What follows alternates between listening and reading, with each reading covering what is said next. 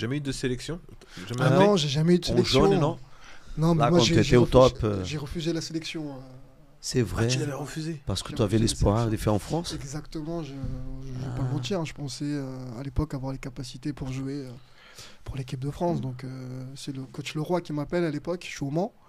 Il me dit viens et tout. Et je vais. Puis mes parents ils étaient pas trop.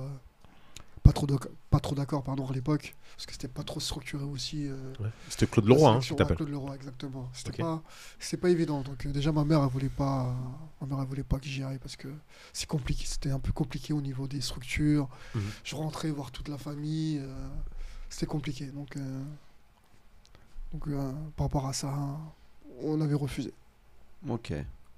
Alors qu'il t'avait approché, quoi. ouais exactement ouais. exactement mais bon c'est l'histoire de ma vie hein, c'est comme ça